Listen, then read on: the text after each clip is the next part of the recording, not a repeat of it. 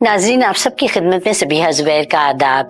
पेश है हमारा प्रोग्राम एस्पायर टू इंस्पायर यानी हौसला अफजाई की कोशिश करना। और इस प्रोग्राम में हम आज आपकी मुलाकात हिंदुस्तान की एक बहुत ही मशहूर, मारूफ और मोतबर शख्सियत से करवा रहे हैं, जो सिर्फ़ रहनुमाय कौम मिलती नहीं, बल्कि एक बुलंद ख्याल मुफक्र मुदब्बिर, दानश्वर जलीलकद्र सियासतदान, अहद आफरीन और एहसास शख्सियत भी हैं, जिन्होंने तकरीबन चालीस साल की तवील मुद्दत में मुख्तलिफ़ जगहों पर रहकर इफराद कौम और वतन की बेलूस खिदमत की है, जो 24 साल राज्यसभा के रुकन रहे, जो इफराद कौम मिलत के लिए राह भी हैं, रोशनी भी, रहबर भी और रहनुमा भी, जिनकी शख्सियत और सोबत ने हमेशा हमें आगही बख्शी है, इस्तकामत का पैगाम दिया है और हमारे ख्वाबों को हकीकत का रूप दिया है।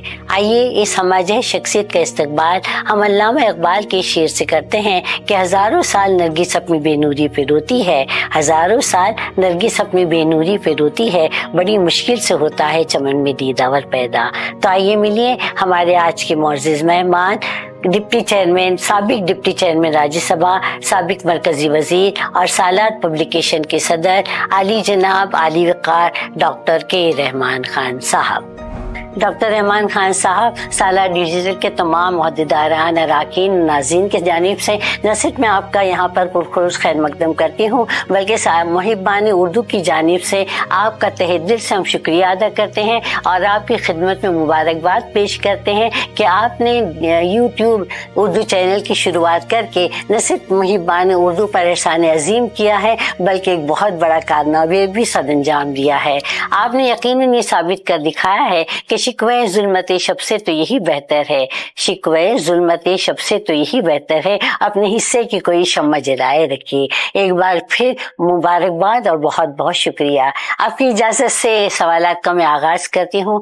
डॉक्टर साहब, ये बताइए कि आप तवील अरसे तक सियासत में आला अहदों पर फायज रहे हैं? तो आप ये बताइए कि हिंदुस्तान में लीडर होने की खूबसूरती क्या है और हिंदुस्तान किस तरह के लीडरों का मुस्तक है?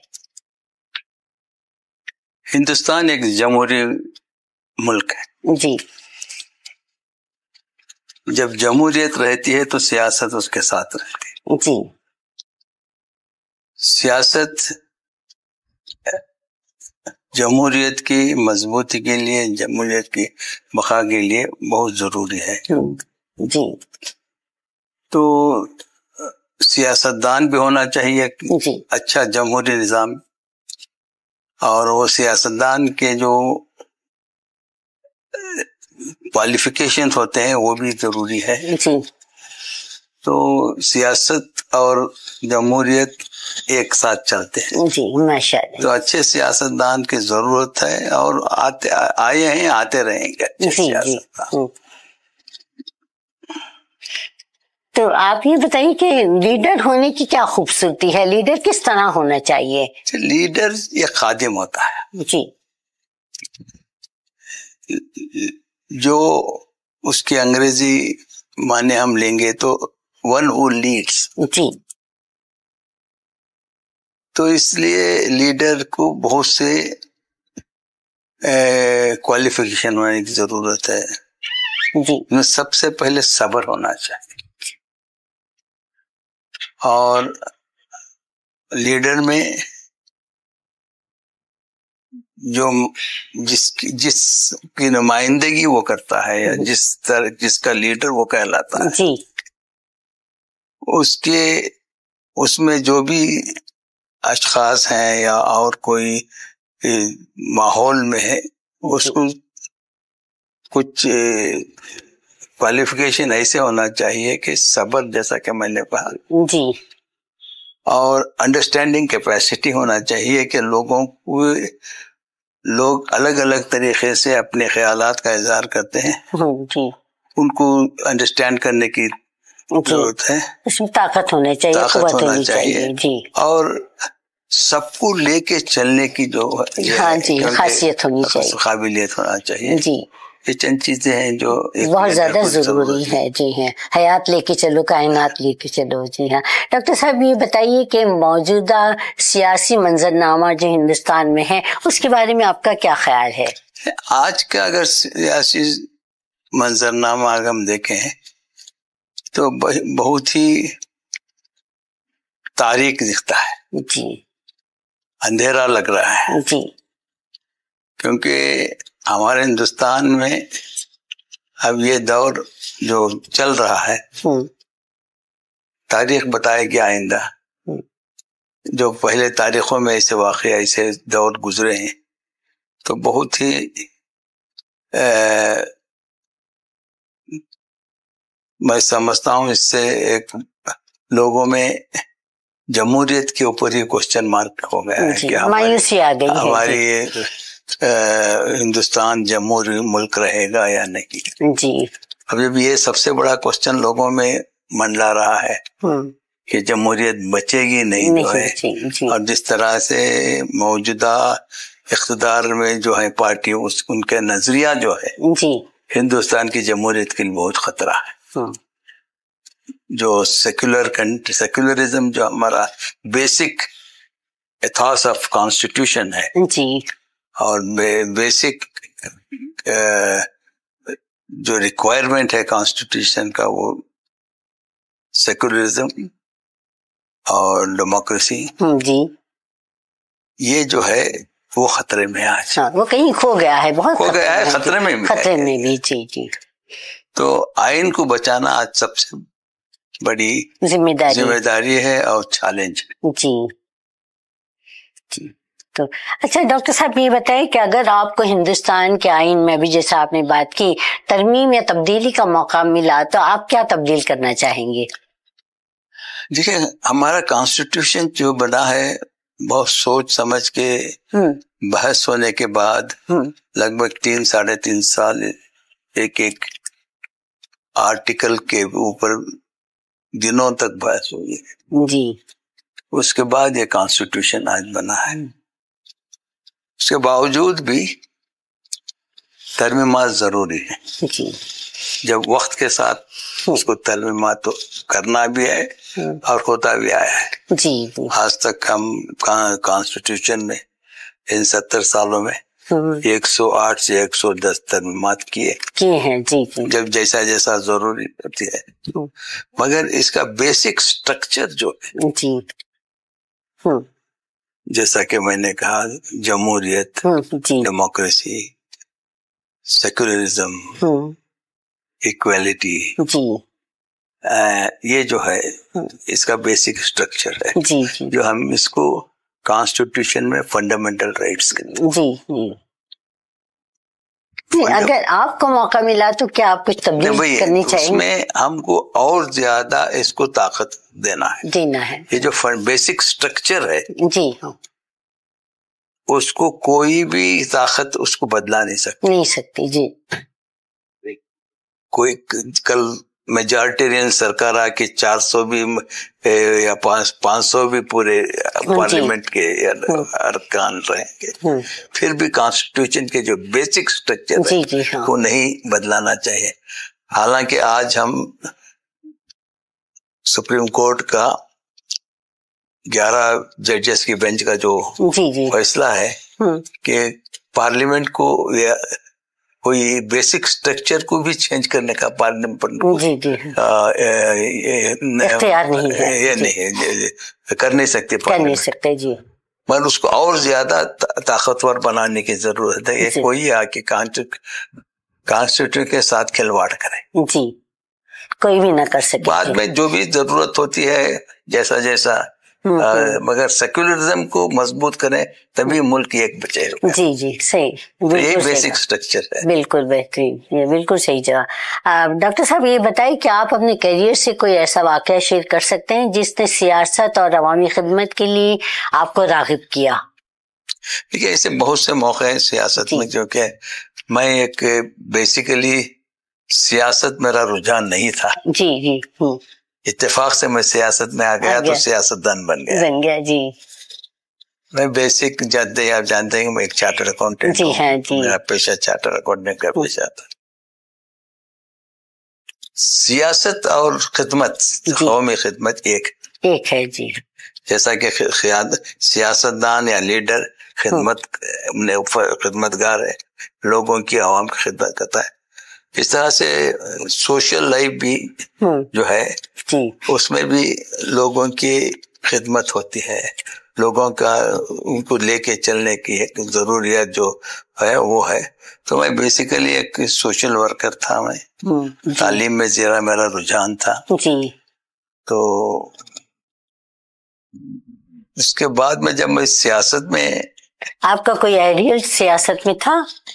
सियासत में यही मेरा आइडियलिज्म सियासत एक अच्छा सियासतदान होना चाहिए। जी। अच्छे क्योंकि मेरा कभी जब सियासत नहीं कि सियासत एक पेशा नहीं है जी हाँ। उसको परस्यू करने के लिए। जी। सियासत अपने आप में वो दिल आप, आपके शख्सियत में रुझान होना चाहिए। आ- आ- होना चाहिए। तो कहीं ना कहीं मुझे वो हम्म, रुझान था। जी। चाहे मैं स्कूल में हो कॉलेज में हो जी। वहाँ के जो एक्टिविटीज़ होते थे वहाँ के जो एसोसिएशन जो होते हैं स्टूडेंट एसोसिएशन उसमें भी मैं पार्टिसिपेट करता। उस तरह से मुझे एक रुझान था मुझे कि मैं सियासत सियासत में ऐसे इलेक्टेड इश्यूज़ में जाऊँ मैं। जैसा कि जब मैं चार्टर अकाउंटेंट बना हम्म, उस वक्त वहाँ के काउंसिल लोकल चैप्टर का मुझे मैं इलेक्ट हुआ वहाँ पर और लोकल चैप्टर का चेयरमैन बनने का आ, मौका मिला मुझे फिर मैं सदन एरिया के चार्टर अकाउंटेंट्स हाँ के लिए मैं नुमाइंदगी की कर्नाटक की। जी। तो उसके बाद में मुझे सडन मौका मिला। जी। आ, इत्तेफाक से मिला मुझे कि उसके प्लानिंग भी नहीं थी मैं उसके तरफ़ सोचा था कि एमएलसी बनने का। जी। अब मुझे उस वक्त के जो लीडर्स थे उन्होंने मौजूद समझा कि मैं सही आदमी हूँ। कौम की नुमाइंदगी करने के लिए। लेजिस्लेटिव काउंसिल में। तो इस तरह मुझे एक मौका फराम किया गया। हम्म, हम्म, तो मैंने उस मौके को का एडवांटेज लेते हुए जी। एक मेरी खिदमत करने का एक जज्बा मेरे पैदा हुआ। हम्म, तो वहाँ से मेरा सिलसिला सियासत का शुरू हो गया। शुरू हो गया जी। और अब तक चलता रहा है। जी जी हाँ। माशाल्लाह, बहुत खूब।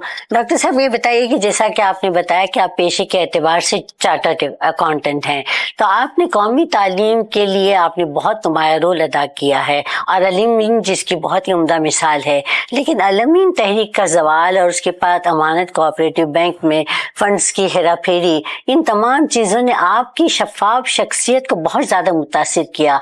इस सूरत हाल को आपने कैसे हैंडल किया देखिए हर कौम और हर इदारा में हम्म, कुछ ना कुछ ऐसे मौके आ जाते जी हैं। जी हाँ।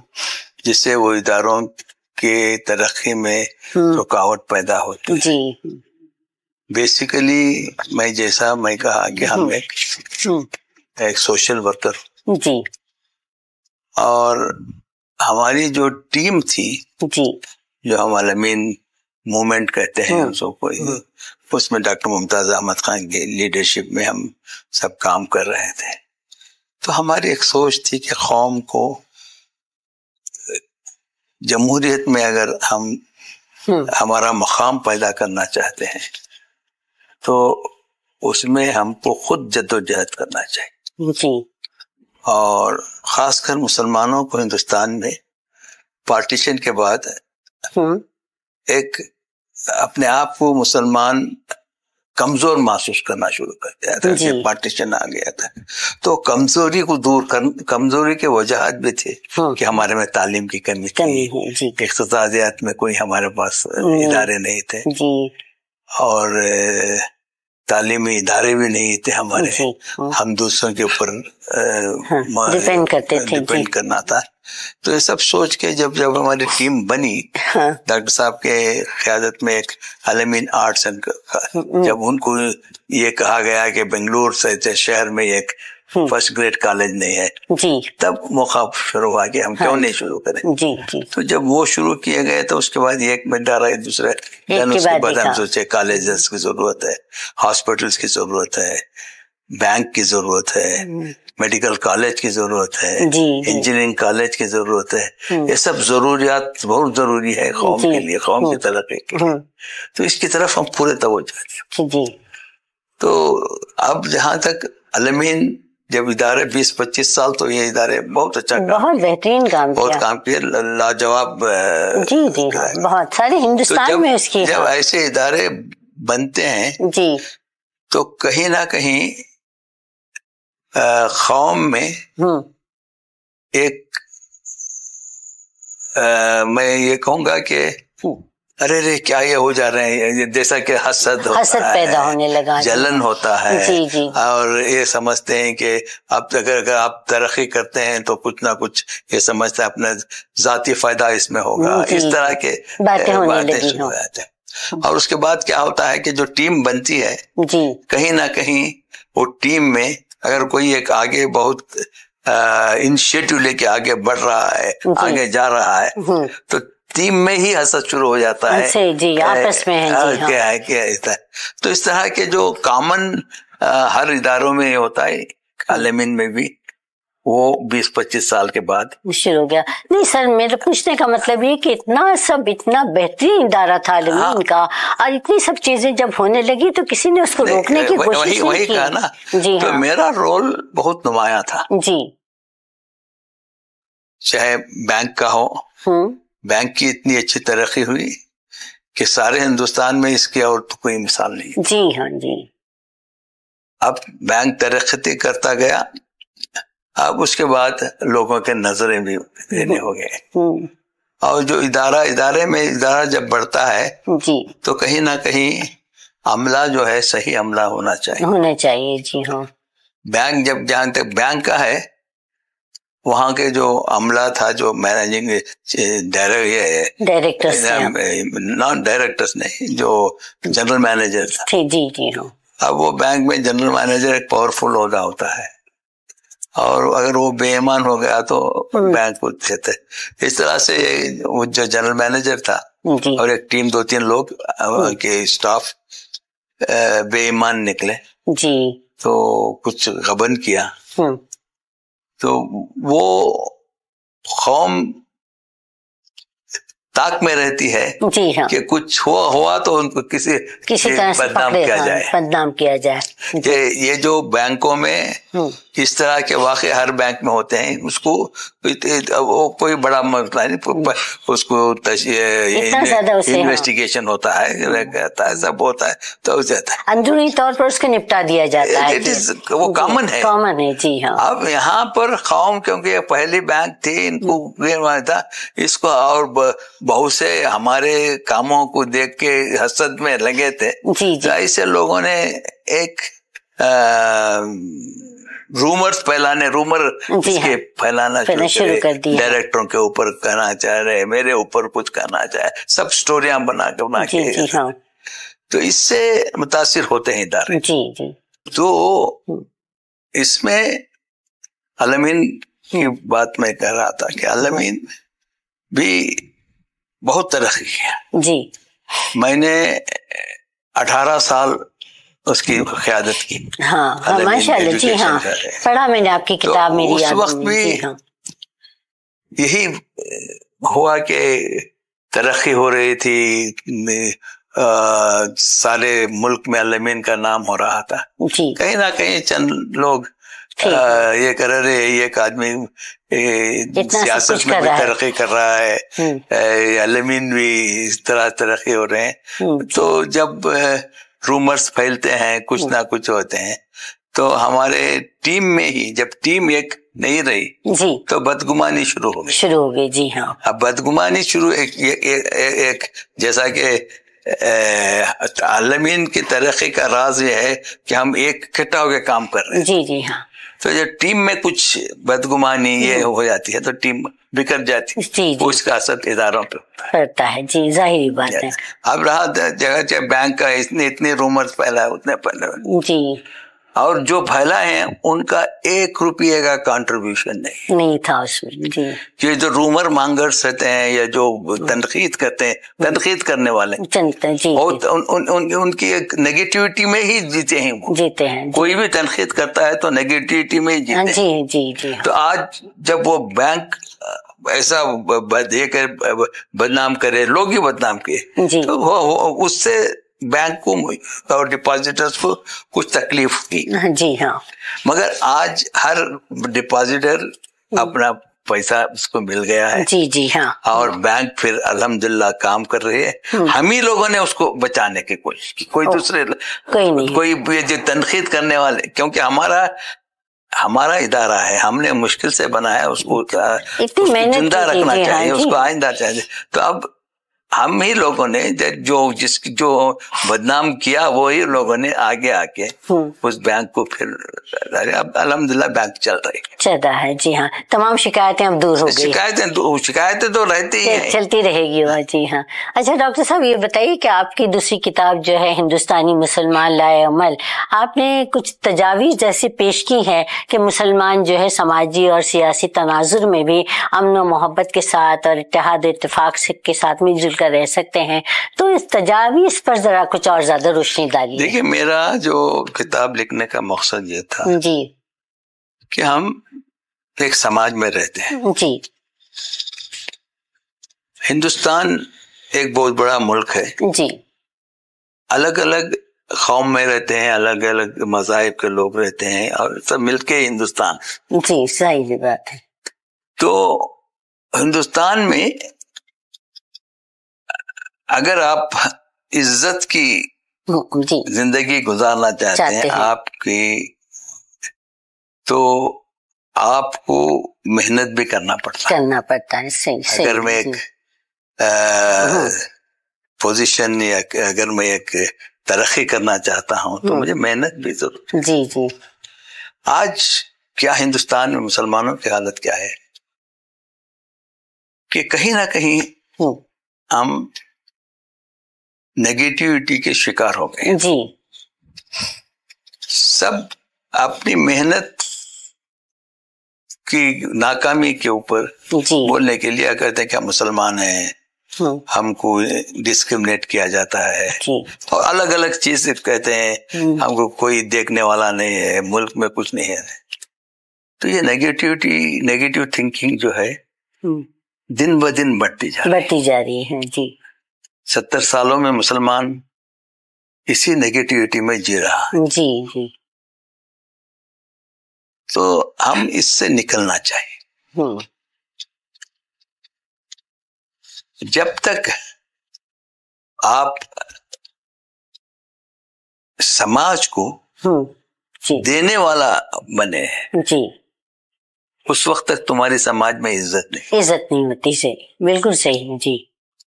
अगर आप कुछ समाज कुछ देखें समाज को कोई कोई भी अगर आप फैमिली फैमिली में ही हम्म, आप फैमिली को कुछ कंट्रीब्यूट कर रहे हैं तो फैमिली भी तुम्हारी इज़्ज़त करे इज़्ज़त करेगी। हाँ जी हाँ। इसी तरह से हम एक समाज में रहते हैं।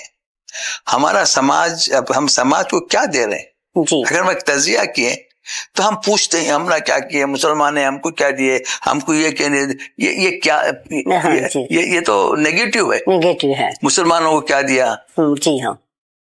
इस तो ये ये, ये जो जी जो हाँ है नेगेटिविटी है जी हाँ। आ गई है। जी। कहीं बजट आया तो मुसलमानों को क्या दिया है? दिया? दूसरे पूछते कि हिंदुओं को क्या दिया है? हम्म। पारसियों को क्या दिया है? क्या दिया है? ये हम एक तो हम ये नहीं सवाल करते कि हमने समाज को क्या दिया है। क्या दिया है? जी बिल्कुल ठीक बिल्कुल सही कहा आपने। तो आज मेरा जो उसमें मकसद है जी। इंडियन मुस्लिम हाँ। हाँ। कि हमको इस नेगेटिविटी से बाहर आना चाहिए। जी। बाहर आके हम सोसाइटी को कंट्रीब्यूट करना चाहिए। हम्म, उसमें मैं जो तजावीज है आपके कॉलेजेस बनाइए आपके फाइनेंशियल इंस्टीट्यूशन बनाइए। आप इंडस्ट्री बनाइए। क्यों नहीं बना सकते? हम्म। जब हम एक आपको एक मॉडल दिए हैं एलिमेंट की। हम्म, हमने बैंक बनाया। पूरे कोऑपरेटिव बैंक में शेड्यूल बैंक है। हम हमारे में वो ताकत है। ये जो आज की हालत है वो अलग बात है। हम बना सकते हैं। हम्म, हम कॉलेजेस बना सकते हैं। यूनिवर्सिटी बना सकते हैं। तो क्यों नहीं बना रहे हैं? क्या आपको रोक रहा है? क्या आपके पास पैसों की कमी है? नहीं हम्म, जी। आपके अगर जो अखराज होते हैं हमारे लोगों के हम्म, वो अगर हम ले लें हम्म, तो हम यूनिवर्सिटी एंड कॉलेज हर साल बना बहुत कुछ कर सकते हैं जी। बहुत। कुछ करते हैं। तो आज मेरी हिंदुस्तान में आज हमारे मुसलमानों की इज़्ज़त ना है जी। तो आप देने वाले बने। जी। अगर आपका हॉस्पिटल है हाँ, अगर आपका कॉलेज है जी आप कॉलेज में एडमिशन दे रहे हैं हाँ, अब अलमीन कॉलेज है अलमीन में मेडिकल कॉलेज है सब पढ़ते हैं। जी। हर लोग को हम ये करते हैं। हम्म, और बैंक है वहाँ सबको फ़ायदा होता है। जी। तो आपकी इज़्ज़त। आज सारा हिंदुस्तान मुसलमानों के सामने ये सवाल है कि देखें कि हम क्या समाज को दे रहे हैं। सब आप कैसे एक्सपेक्ट करते हैं समाज से आ, आपको जब आप कुछ दे ही नहीं रहे देने वाला देने की फितरत अल्लाह ताला की। जी। बंदा पूछता है जी। आज हम सीकर्स हो गए हैं हम्म, गिवर्स नहीं। जी हाँ। तो ये ये अगर हम तब्दील करना चाहते हैं जी। तो मैंने 25-30 साल का एक उसमें ये दिया है कि हम मेहनत कंटिन्यूस करना चाहिए हाँ। हर फ़ील्ड में हमारा प्रेजेंस होना चाहिए। जी और ये मुश्किल बात नहीं जी। कर सकते हैं। और उसमें एक एक डायनामिज्म आना चाहिए समाज में। हाँ। तो ये इसलिए मेरे वो तजावीज हाँ जी आपने पेश किए तो नाजरीन मैं यहाँ पर आपसे ये कहना चाहूँगी कि डॉक्टर साहब की दोनों किताबें मे, मेरी यादें और फिर हिंदुस्तानी मुसलमान लाए मैंने उसका मुताल किया है। और हमारी ख्वाहिश है कि इन किताबों को हिंदुस्तान की हर कॉलेज हर यूनिवर्सिटी में निसाब के तौर पर रखना चाहिए ताकि हमारी नौजवान नस्ल इससे इस्तेफादा कर सकें और डॉक्टर साहब के तजुर्बात से हम कुछ सीख सकें। तो डॉक्टर साहब मैं आगे बढ़ती हूँ और आपसे ये सवाल करना चाहती हूँ कि हिंदुस्तान में अब समाज सियासी हालत बिल्कुल बिखरे हुए हैं। तो माशियती दफ़ा मौसमियाती तब्दीली बेरोजगारी और फिर बाद में आवाम की सेहत के बारे में मुसलमान हिंदुस्तान में किस तरह की मनसूबाबंदी अब होनी चाहिए? देखिए हिंदुस्तान एक बहुत बड़ा मुल्क है। जी। पॉपुलेशन के हिसाब से अब हम्म। हम चाइना से भी आगे बढ़ जाए चंद सालों। चाइना के नज़दीक नज़दीक आ गए और चंद सालों में तो हाईएस्ट पॉपुलेटेड कंट्री हो जाए क्या आप समझ सकते हैं? ऐसा हो सकता है? ज़रूर हो जाएगा। जी। हाँ उम्मीद तो कहीं नज़र नहीं आ रही हालात है जी आज देखिए हम सब सौ करोड़ की बात करते थे एक सौ चालीस करोड़ हो गए। जी जी। तो हालात इसके लिए आज हमको हिंदुस्तान हाँ। में हुकूमत की तरफ़ से समाज की तरफ़ से सब मिलके हिंदुस्तान को अगर हम आगे ले जाएँगे तो हिंदुस्तान वर्ल्ड लीडर बन सकता है। गुर्बत तो है। और मसाइल भी हैं। मतलब हमारे पास मगर वसाइल भी हैं हमारे जी तो उसको सही तरीके की लीडरशिप मिले। और उसको आगे हम ले जा सकते हैं। और ये मसले पूरे हल हो सकते हैं। आज आज हिंदुस्तान में हर वो चीज़ है। जी। सही क्यादत मिलेंगे। हाँ। तो हिंदुस्तान सही क्यादत नहीं है सही क्यादत की ज़रूरत हाँ। है। और जिस तरह की हमारे में ए, चंद ख्यालात के लोग हैं। जो इस मुल्क को हाँ। इसकी जो खूबसूरती को तब्दील करना चाहते हैं। हाँ। खत्म करना चाहते हैं खत्म खत्म करना हाँ। चाहते हैं। जी हाँ। ये जो हम इसको कहते हैं कि मेजॉरिटेरियन हमारी जो जमहूरियत है जी। मगर ये जमहूरियत मेजॉरिटेरियन जमहूरियत है। हम्म। यहाँ दुनिया की सबसे बड़ी जमहूरियत है। जमहूरियत है फिर एक- एक मेजॉरिटेरियन है। यहाँ एक मेजॉरिटी कम्युनिटी समझती है कि हमारा मुल्क हम्म, हम्म, जी। ये नहीं समझती कि सबका मुल्क है। जी ये सिर्फ़ हमारा अपना समझ ये ये ये मेजॉरिटेरियन रूल जो कि ख्यालात के हम्म। ख्यादत वैसे ख्यादत करने वाले हैं जो आज आ गए हैं। जी जी। तो इनसे जमहूरियत को भी खतरा होगा और मुल्क को भी खतरा होगा। जी। तो आज वही ज़रूरत है कि जो माहौल जो हो रहा है हम्म, कि तरक्की ज़रूरी नहीं है कि लोगों को इंतज़ार करें उनके को पोलराइज करें तबकों में पोलराइज करें। फिरका वारियत बहुत ज़्यादा बहुत ज़्यादा हो रही जी है। जी। तो मैं नहीं समझता कि कुछ तब्दीली आएगी। लोग। ये ये ख्यालात मैं समझता हूँ कि जो मेजॉरिटी के लोग हैं वो भी उनमें अच्छे लोग हैं वो भी अच्छी सोच रखते हैं। चंद परसेंटेज है जो इस तरह के लेके आगे चला के लोगों को बांटना चाहते हैं। मुझे उम्मीद है कि हिंदुस्तान नहीं बटेगा। जी हाँ। अच्छा डॉक्टर साहब ये बताएँ कि हिंदुस्तानी सियासत में खवातीन की नुमाइंदगी के ताल्लुक से आपका क्या ख्याल है? खातन की नुमाइंदगी बहुत ज़रूरी है। जी। देखिए ज़रूरी है लेकिन बहुत कम है ना सर?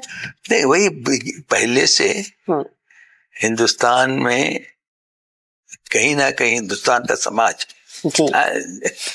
औरतों को सिर्फ़ उनका मकसद घरों में रहना घर की देखभाल करना हम्म, यही तस्वुर पहले से आ रहा है। कहीं कहीं तारीख इसकी हाँ। है और मगर तालीम जैसा जैसा औरतों की तालीम बहुत ज़रूरी है इसलिए है। हाँ। मुसलमानों में खासकर। अ- अ- तालीम की ज़रूरत है औरतों में। हम्म, हम्म, इसमें सबसे पीछे है जी। तो अब बेदारी हो गई। जैसा जैसा तालीम आम होती जा रही है हमारे लेडीज़ में तो बेदारी भी पैदा हो रही है। अब जो है आहिस्ता आहिस्ता ने सियासत में भी तब्दीली आई है। अब हमारे जो जैली जमहूरियत के इदारे हैं जैसा पंचायत है डिस्ट्रिक्ट थे यहाँ सब हो राइज हो गया है कि वन थर्ड उसमें लेडीज़ को होना चाहिए जी हाँ चाहिए। हम्म, जी। तो अब पार्लियामेंट में भी पार्लियामेंट और असम्बलियों में भी नुमाइंदगी हम्म, की का तो यानी तो पा, पार्लियामेंट में राज्यसभा में बिल पास हो गई है। हम्म, और मुझे वो नहीं सर देखिए सिर्फ़ बिल पास होते हैं लेकिन खवातीन की नुमाइंदगी कहीं भी नज़र नहीं आती। नहीं, बहुत नहीं, कम बिल पास हो जाने के बाद हाँ, कॉन्स्टिट्यूशन में हम्म। अमेंड डालने के बाद कहीं ना कहीं रुकावट है। थी। अब राज्यसभा ने तो वो पास कर दिए। मुझे ये शर्म भी हासिल है कि मैंने राज्यसभा जिस वक्त वन थर्ड का ये पाँच कॉन्स्टिट्यूशन वुमेन्स लेनी उस वक्त मैं, मैं आपने बहुत किया है मेरी सदारत में वो बिल पास हुई बिल पास हुआ था। तो इसलिए अब वक्त दूर नहीं है अगर ये कांग्रेस पार्टी इलेक्शन खासकर ये हाँ कमिट जी आ जाती है हैं। कि अगर कांग्रेस वापस आएँगी तो इंशाल्लाह हम्म, इलेक्शन में। तो वन थर्ड जो राज्यसभा की बिल पास हो गए वहाँ लोकसभा में पास करके उसको अमली जमा जी हाँ तब वन थर्ड नुमाइंदगी ज़रूरी हो जाएगी आपको यकीन है सर? नहीं ये यकीन है। देखिए हम इस, इस मरतबा जो कांग्रेस की टिकट की डिस्ट्रीब्यूशन है जी। ऑलमोस्ट वन थर्ड दिए हैं। जी। बगैर किसी ला के वन थर्ड लेडीज़ को रिजर्वेशन दी। रिजर्वेशन नहीं जी। नुमाइंदगी दी गई। दे दे दी गई है जी हाँ अच्छा अच्छा डॉक्टर साहब ये बताइए कि मुल्क में निज़ाम तालीम को बेहतर बनाने के लिए खास तौर पर गरीबों के लिए क्या किया जा सकता है?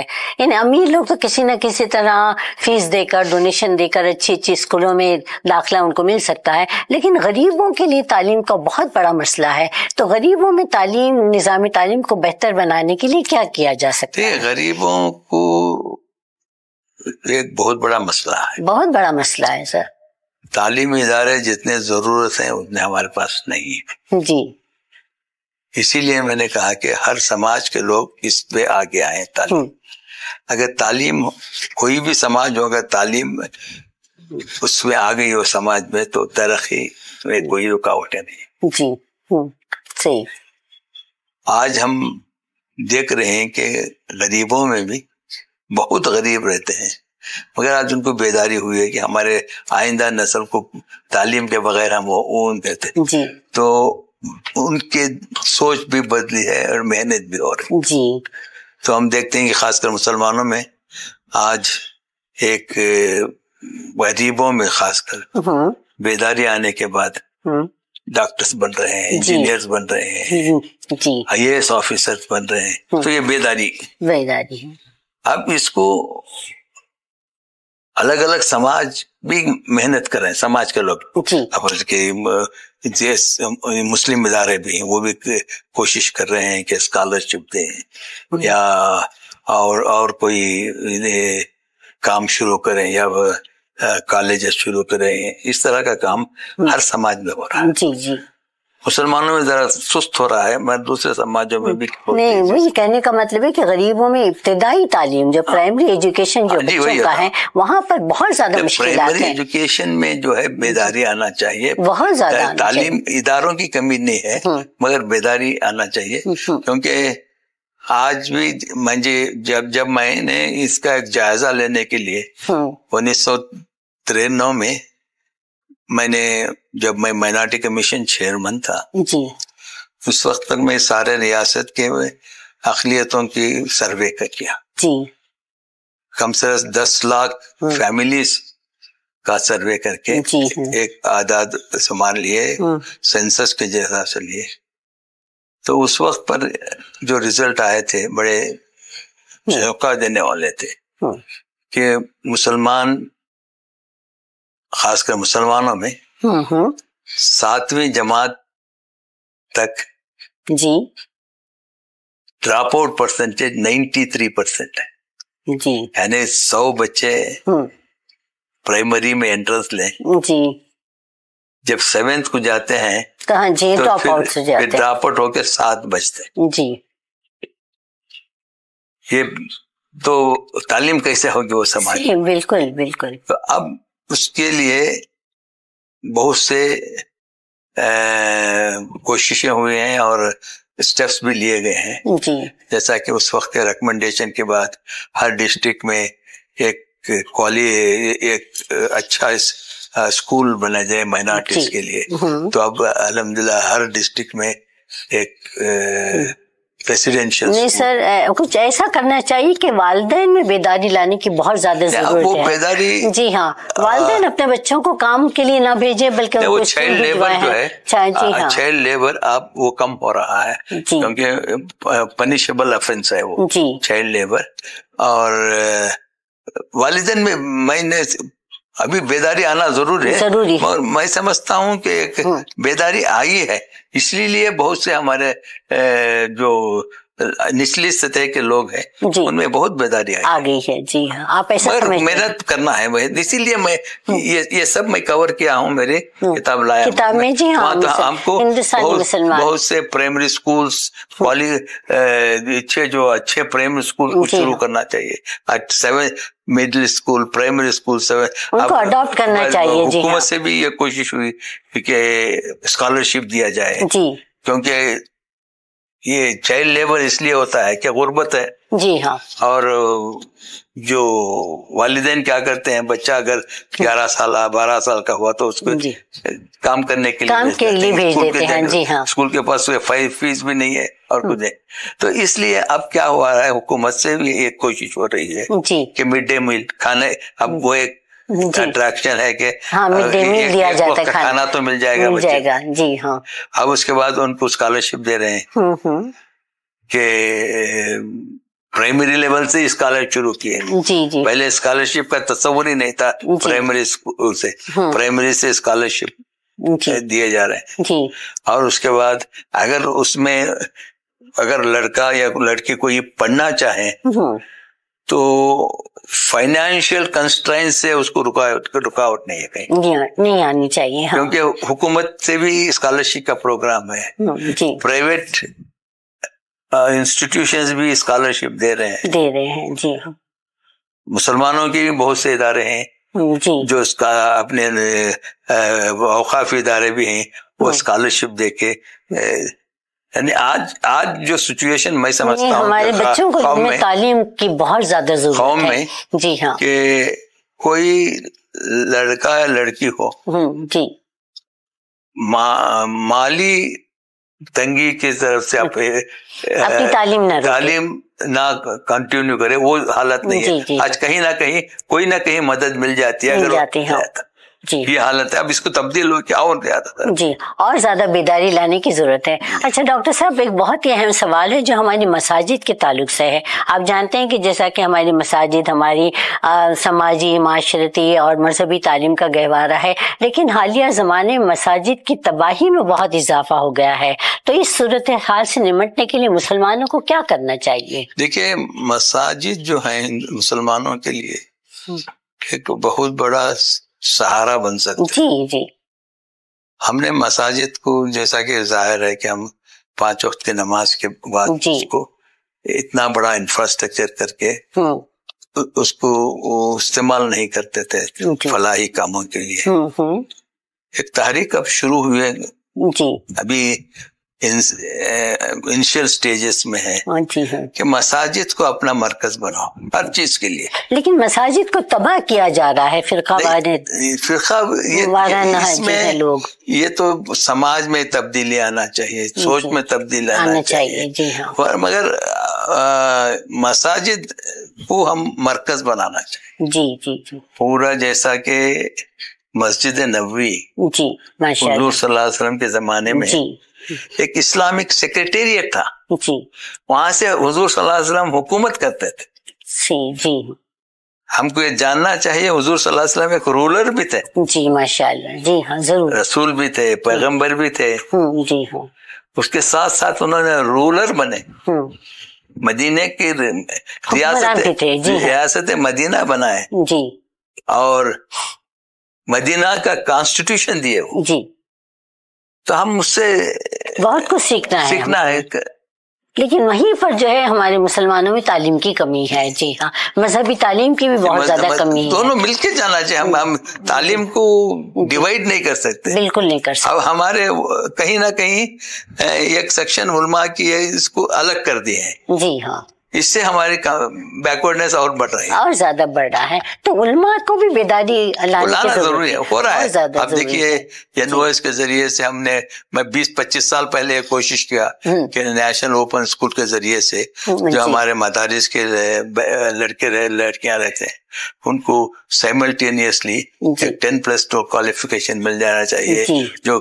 वो मदरसा ही को एक स्कूल मॉडर्न स्कूल कन्वर्ट हो सकता है। जी जी। ये तीस पच्चीस तीस कम से चौबीस साल से भी ये जो हुकूमत इस तरह का स्कीम है जी। उसमें हम फ़ायदा उठाते नहीं रहते। बहुत से लोग बहुत आगे बढ़ गए उसके ज़रूरत मगर आज मदरसों को कन्विंस करने के लिए हमको 20-25 साल लगे। तो आज हर मदरसे में हाँ। और हाँ।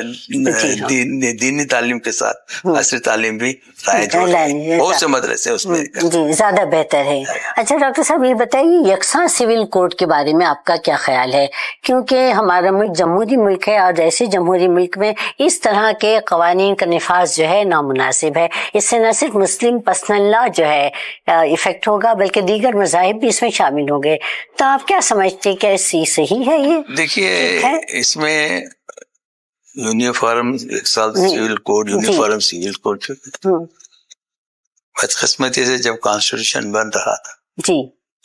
तो ये डायरेक्ट प्रिंसिपल में आर्टिकल 44 में जी। ये हुकूमतें हम्म। एक एक्सा सिविल कोड की तरफ़ रुझान रख करके उसको एक कानून बना सकते बनाना चाहिए। मगर ये मैंडेटरी नहीं था। जी। बहुत से नॉन मैंडेटरी है उसमें ये भी है। जी। मगर कहीं ना कहीं मुल्क में हमारे कोर्ट्स हो सुप्रीम कोर्ट्स हो जी। जब ये सवाल उनके सामने आ जाता है तो वो एक ये कहते हैं क्यों ने यूनिफॉर्म सिविल कोड बनाए सोसाइटी ये कहे तो सिविल कोड भी क्यों अलग अलग क्यों है क्यों तरह? अलग बनाते हैं हम्म, मगर इसमें क्योंकि आर्टिकल 25 24 हमको इजाज़त देता है कि हमारे मज़हब की प्रैक्टिस और। प्रोपेगेंडा हम्म, तो कहीं ना कहीं बहुत से जो सिविल लॉस हम कहते हैं वो इस्लामी कानून के तजाद में आते हैं। तो ये मसला बहुत बरसों से चल रहा है हम्म, ये कंट्रोवर्सी चलती रही। मगर इसमें एक चीज़ जो है चाहिए कि जो समाज के जो ऐसे जो रिवायतें हैं या जैसे अब फ़र्ज़ कीजिए इसमें एक, एक मसला आ, ये ट्रिपल तलाक। जी जी हाँ। हम्म, हम्म। कहीं ना कहीं मेरा ये जाती राय है कि मैंने सब के। समाज को ही मुस्लिम समाज को चाहिए कि इसमें जो सही इसमें जो तर, इसमें समाज में हम बदलाव ला सकते थे। ला सकते थे जी जी। ला क्योंकि इसमें खुद हम जो रिवायत है जो कर रहे हैं ट्रिपल तलाक ना कुरान से वाजे है ना ये कहीं से कहीं नहीं जी हाँ। उसको हमने उसको शरीयत बना दिया। जी जी। ये हमारी गलती है। जी हाँ। अब कहीं ना कहीं हम ये गलती कर रहे हैं कि शरीयत को बहुत करेक्ट डिफाइन नहीं कर रहे हैं। नहीं कर रहे हैं जी हाँ। तो इसलिए यहाँ पर ये कंट्रोवर्सी है जो कराम को डॉक्टर साहब यहाँ पर इंटरप्ट करना चाहेंगे हर जो है कन्वीनियंस की जो तमाम चीज़ें हैं वो शरीयत बन जाती है जो उनकी कन्वीनियंस में आता है। हाँ। ना मेरे समझ में ये बात नहीं, नहीं आती है? जी हाँ। तो हम हर चीज़ को शरीयत कहते हैं। जी। हर चीज़ को शरीयत नहीं हो सकती है नहीं हो सकती बिल्कुल नहीं हो सकती। तो अब ये ये मैदान जो है हम अगर हम उसमें अगर कुछ कहेंगे तो भी उलमा कराम उसको पसंद नहीं पसंद करेंगे। नहीं करेंगे। तो ये ये एक बड़ी बड़ी चैलेंज है जी सामने। बहुत बड़ा फसाद हो जाएगा जफान जी हाँ अच्छा डॉक्टर साहब ये बताइए ये सवाल मैं बहुत ही माजरत के साथ करना चाहूँगी कि हमारे सियासतदानों ने मुल्क में सियासी छवि को खतरनाक बना दिया है। उनका ये वतीरा रहा है कि सिवाय वोट लेने कभी आया नहीं करते ये सूखे पेड़ है ये यारों कभी साया नहीं करते। इसके बारे में आपका क्या ख्याल है? ये तो जमहूरियत की एक कमज़ोरी है। जी। और हमारे जो सियासत में जो गिराव आया है जी। लोग इससे इसीलिए इसके इस माहौल के लिए लोग ही जिम्मेदार हैं। जी। हमने सियासत को एक अनटचेबल पेशा बना दिया है। ओहो जी जी बिल्कुल सही। सियासतदान जमहूरियत का एक अहम हिस्सा है। जी। हम हम उनके बगैर सियासत जमहूरियत नहीं रहती नहीं है नहीं है। जी बिल्कुल सही। इसके बावजूद भी हम्म। आदमी सियासत से दूर होता है। जी। सियासत एक पेशा समझ के उसको ये गंदा पेशा है। हम्म। तो ये इसमें नहीं सियासत में। सियासत को वर्ड को इस तरह से हम बना लें अगर हम सियासत क्या है पॉलिटिकल पॉलिटिक्स है। पॉलिटिक्स क्या है? एक पॉलिटिकल साइंस है। जी, जी. उसका वो एक सब्जेक्ट भी सिखाया जा रहा जाता है कॉलेज। बहुत ही वसी मजमून है जी हाँ। हम इस ऐसे चीज़ों को समाज ही उसको बदनाम कर दिया जी। क्योंकि वो वहाँ तक नहीं पहुँच सकते। हम्म।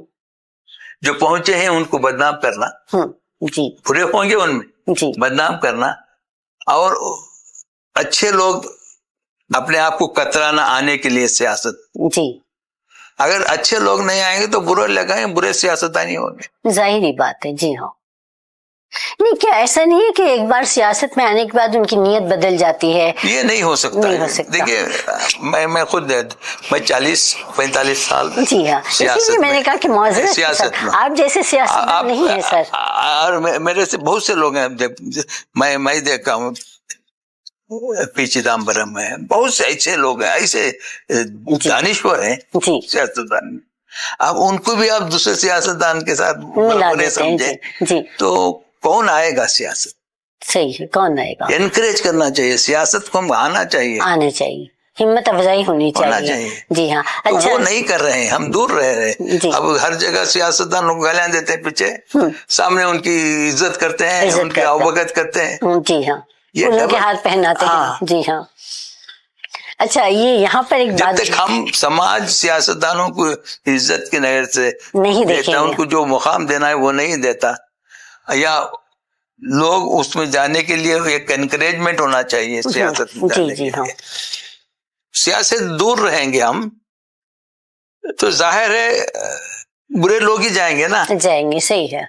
नहीं लेकिन सियासतदानों को आवाम की आवाज़ बननी चाहिए। बिल्कुल। वो काम नहीं हो पा रहा वो, है। वो जब होता है जब अच्छे लोग जाते हैं। हम्म, जी। अब अच्छे लोग बताते हैं कि सियासत अच्छा पेशा नहीं है। जी जी। So, अच्छा डॉक्टर साहब ये बताइए अगर आपको रियासत कर्नाटक का वज़ीर आला बनाया गया तो आप रियासत की तरक्की के लिए क्या काम करेंगे? देखिए मैं आप अरे मैं तो ये कहूँगी कि अगर आप वो दौर मेरा पास हो। नहीं नहीं फिर भी अभी भी वक्त है सर। तो अगर आप देखिए ये हमारा हाँ। मुल्क एक जमहूरी मुल्क है। जी। सियासत या जो जमहूरी ओहदे होते हैं जैसे कि गवर्नेंस की बात होती है। हम्म, जी जी। तो गवर्नेंस का एक तरीका बताया गया है। कॉन्स्टिट्यूशन में इस तरह से हवाम अपने नुमाइंदों को चुनती है। उनके ज़रिए से अपनी सरकार को चुनती है। सुनती है जी। और सरकार को ये हम्म। आदेश देती है कि हमको पाँच साल आप हम्म, जी। हमारे ऊपर हुकूमत करो। हाँ जी। हमारे हमारी नुमाइंदगी भी हुकूमत भी। भी जी। अब जो वो आप चंद लोग जो भेजते हैं जी। उनके बनाए कानून को आप आपको तस्लीम करना पड़ेगा। जी। कि आप ही ने मैंडेट दिया है। जी। तो हमारे ऊपर कानून बनाइए। और हमारे ऊपर जो आप कानून बनाएँगे हम उसकी उसको मानेंगे और। चलेंगे तो ये जो ये है इस ये एक तरीका कार है कॉन्स्टिट्यूशन कोई भी अच्छे सोच रखने वाला हम्म, जी। एक अच्छा हाकिम बन सकता है बन हुकूमत सकता कर सकता है। जी। हुकूमत हमारा क्योंकि आपको हुकूमत चलाना है कॉन्स्टिट्यूशन हम्म, के बाद। कॉन्स्टिट्यूशन आपको रहबरी करता है कि आप चाहे अगर अनपढ़ भी एक उधर वहाँ आ गया तो, तो जी। उस उसके तो पॉजिटिव यानी हर हर चीज़ दुनिया में हम्म, पॉजिटिव थिंकिंग के ऊपर होती है मुनहसर सोच होनी चाहिए जी हाँ। तो हम इसमें भी अगर एक सियासतदान उसका सोच सही है जी। लोगों के एहसास को समझने की ताकत उसमें है जी। तो अच्छा हाकिम बन सकता आ, हाकिम बन सकता है। ठीक है। डॉक्टर साहब ये बताइए कि मुल्क में सियासी सूरत हाल को देखते हुए आप हमारे नौजवानों को क्या पैगाम देना चाहेंगे? क्या उन्हें सियासत में दाखिल होना चाहिए? और सबसे बड़ी बात आपके साहबजादे अभी लोकसभा का इलेक्शन लड़ रहे हैं तो आप उनको भी क्या पैगाम देना चाहेंगे? देखिए सियासत में मैं कहता हूँ कि सियासत में आना चाहिए। जी। सियासत हमारा हक है। जी। और राइट है हमारा हम्म, और जहाँ तक नौजवानों का सवाल है कि एक पॉजिटिव सोच लेके चलिए। कि मैं हर चीज़ सही मैं हर चीज़ कर सकता हूँ। मैं मुल्क के लिए कंट्रीब्यूट कर सकता हूँ। मुल्क की तरक्की के लिए मैं हिस्सा ले सकता हूँ। मुल्क की तरक्की में मैं हिस्सा लेना मेरा फ़र्ज़ फर्जा फरीजा है तो इस तरह की सोच आज के नौजवान में आएँगे तो कौम के लिए और मुल्क के लिए बहुत ही शानदार अच्छा। डॉक्टर साहब आपका बहुत बहुत शुक्रिया। आपने हमें अपना कीमती वक्त दिया और आपने हमारे नाजरीन को बहुत ही मुफीद और कारआमद बातें बताई। खासतौर पर मुझे भी बहुत सी चीज़ें जानने का मौका मिला। नाजरीन आपने देखा आपने सुना ये थे हमारे आज के मोजिज मेहमान डॉक्टर के रहमान खान साहब सबक डिप्टी चेयरमैन राज्यसभा सबक मरकजी वज़ीर और सालार पब्लिकेशन के सदर। डॉक्टर साहब की फितरत में सादगी है और इसी सादगी की बिना पर आपने उन लोगों को भी माफ़ कर दिया, जिन्होंने आपकी शख्सियत को दागदार करने की कोशिश की थी। जैसा कि आपने अपनी किताब मेरी यादें में लिखा है कि ज़िंदगी जीना मैंने कुछ इस तरह आसान कर लिया। ज़िंदगी जीना मैंने कुछ इस तरह आसान कर लिया। किसी से मांग ली माफ़ी और किसी को माफ़ कर दिया। ये एक नेक इंसान की अखलाकी खूबी की सबसे उम्दा मिसाल है। डॉक्टर साहब की फितरत में वादा वफाई है, खैर खाई है।